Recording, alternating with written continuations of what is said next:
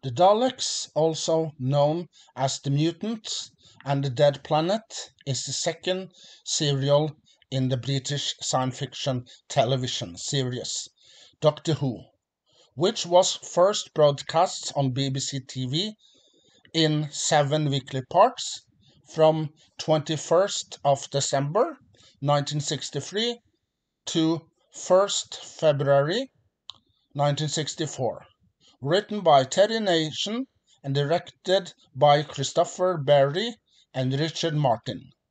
This story marks the first appearance of the show's most popular villain, the Daleks, and the recurring Skaro people, the Thals.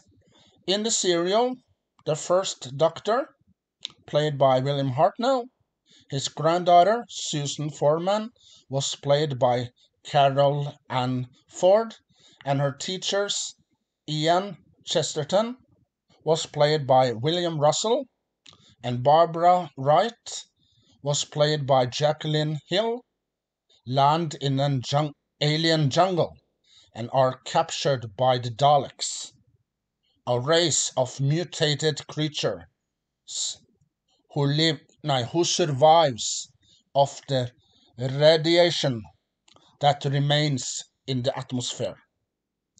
After a nuclear war with their enemies, as the group attempt to escape the Daleks, they discover more about the planet and the ensuing war and attempt to broker a peace.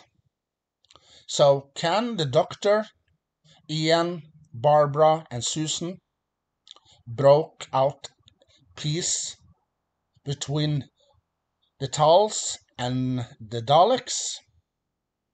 Well, today on Doctor Who reviews and more, we're gonna find out if the Doctor can make peace between these two races.